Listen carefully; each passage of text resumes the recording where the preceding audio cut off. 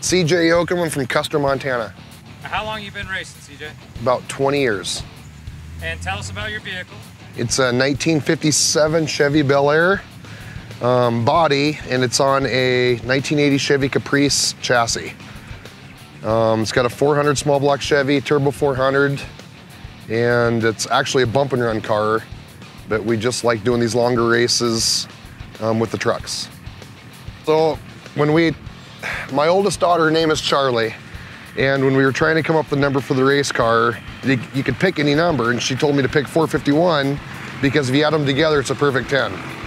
And she told me that her dad's a perfect 10, so hence my number 451.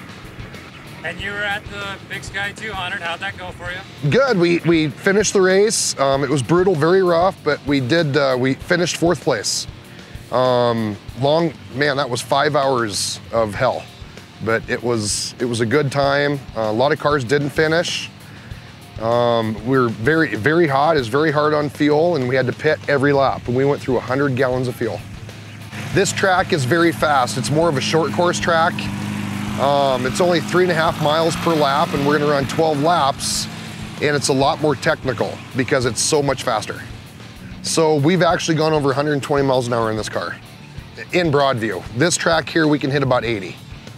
Any uh, shout out to sponsors?